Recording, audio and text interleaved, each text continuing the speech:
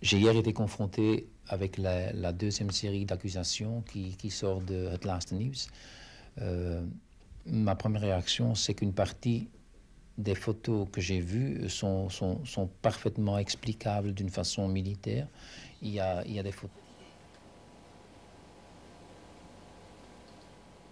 Nous avons tous, pendant ma période de jeunesse, nous avons tous joué avec des enfants en tant que, en tant que leader d'enfants. Nous avons balancé des enfants à gauche, à droite euh, dans le jeu.